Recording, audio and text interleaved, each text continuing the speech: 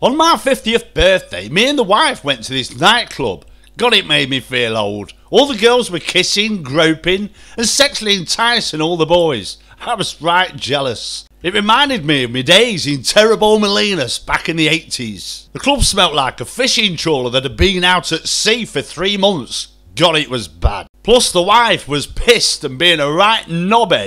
Anyway, I couldn't help but watch this guy on the dance floor giving it all the moves moonwalking, backflipping, body popping, everything. The wife turns to me and says, Do you know that that man proposed to me 25 years ago and I turned him down? I replied, He looks like he's still celebrating. Ah, thank you.